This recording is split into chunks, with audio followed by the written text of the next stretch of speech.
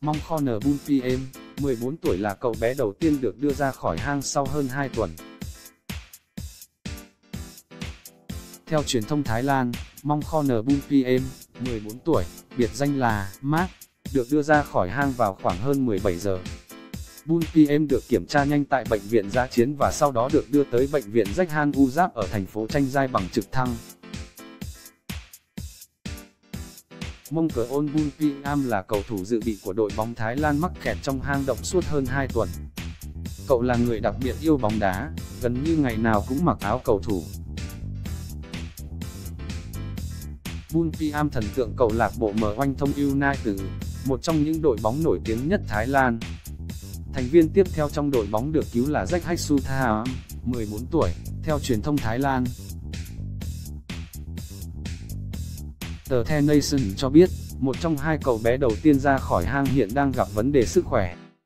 Cậu bé này được liệt vào mức độ đỏ, nghĩa là rất nghiêm trọng, nhưng không rõ đó là mong kho nở bun PM hay Jack Haksutha.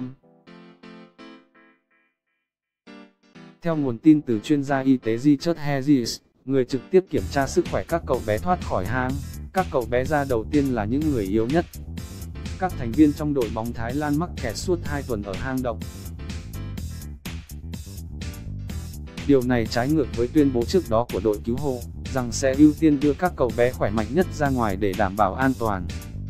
Cho đến tối ngày 8.7, đội cứu hộ đã đưa 4 cậu bé trong đội bóng ra ngoài, tỉnh trưởng tranh giai Na Jong Ek Osothana Corner thông tin.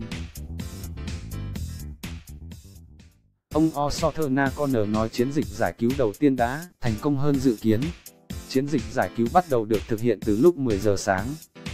Khoảng 90 thợ lặn đã tham gia vào chiến dịch. Nước rút đáng kể cùng với điều kiện thời tiết thuận lợi là nguyên nhân chính quyền Thái Lan khởi động chiến dịch. Các cậu bé sử dụng mặt nạ che toàn bộ mặt trong quá trình giải cứu.